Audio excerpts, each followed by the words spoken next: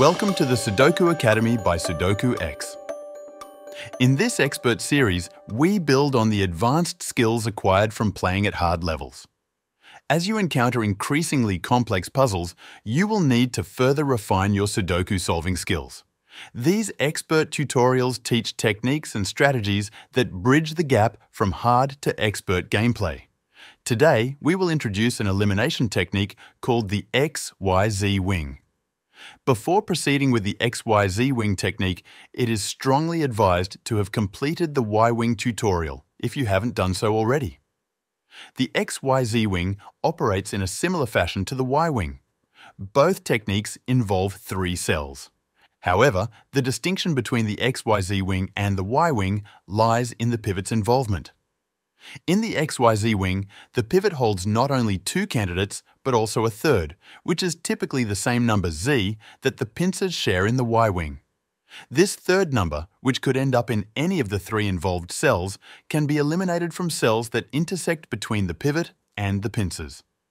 As a result, the XYZ wing always operates across two blocks. Generally, the XYZ wing provides fewer elimination opportunities compared to the Y wing.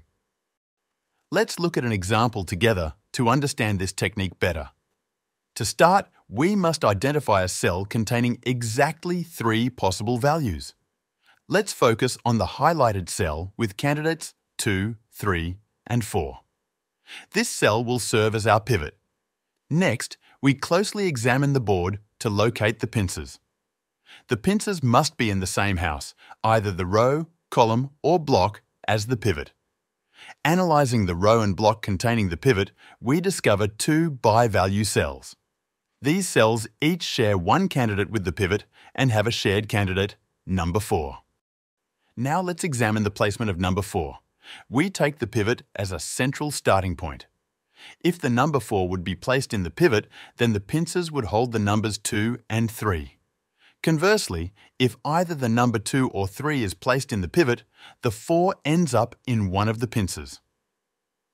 Consequently, and although we do not know yet which cell, the number 4 will end up in any of the three cells, allowing us to eliminate the number 4 from any cells intersecting with the pivot and pincers. Let's remove the 4s from the highlighted cells. After removing the 4s, we can confidently place the 5 and continue our game. Super! Be sure to check out our other videos for additional elimination techniques on your path to becoming a Sudoku master. Practice your skills with Sudoku X and master the game at expert difficulty levels.